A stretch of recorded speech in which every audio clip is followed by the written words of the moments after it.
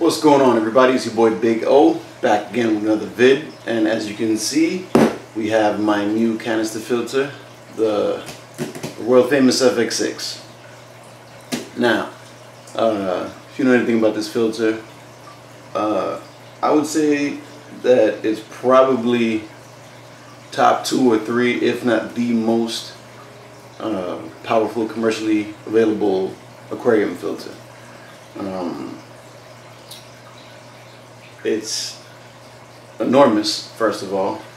Uh, it can hold a lot of media. It's really expensive, but, but, I ended up getting this for a tremendous deal. I went into PetSmart and I forgot what I went in there for initially. But I always just walk around just to see, you know, just see what they have and just kind of browse. But I went by the filters because I was already sort of on the hunt for another canister filter. I was going to get another um, XPXL, which those work fine. I've had I had one of those for a few years and, and it was great until I ended up losing it by accident, but that's a whole nother story. Um, I noticed that this filter was on sale at PetSmart for $240. Now that might that might seem still like a lot of money, but you gotta understand that these things retail for upwards of 330 bucks. So for me to see one that cheap, I had to jump on it right away. So enough of the talk, and we're gonna get right into it. As I said, this thing is enormous, and I've seen unboxings of these before, and it, it looks you know huge when they take it out of the box. But I'm interested to see exactly what it's gonna look like. On the inside flaps here, um, they have like instructions in a bunch of different languages move this out of the way. Get everything in good view. Okay, so here we have hose and like the, the output. Probably instructions.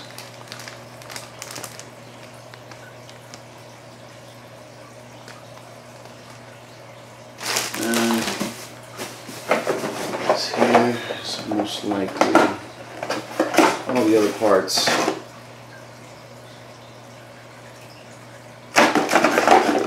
Intake. Everything's, these are the little brackets that go on the rim of the aquarium. Okay. Oh, this thing is big. Now for the canister itself. And yes, it is huge. Let's see if I can there we go yeah, this thing is pretty big. Um, I can't wait to get it on the tank. This is actually going to go on my 75 and I'm going to be using the what is it, the Aquaclear 110 is on the 75 currently and I'm putting on one of the 40 gallon breeders because they will all be occupied very, very soon. We Got some new additions coming. Got a bunch of cool updates coming. Um, once I slap this filter on the tank and get things moved around, I'll definitely do an update video. Just want to do a quick unboxing just to throw it out there. Um, eventually I'll be doing a review on this. They've probably been done to death by now, but you know, I have I'll do my review on it.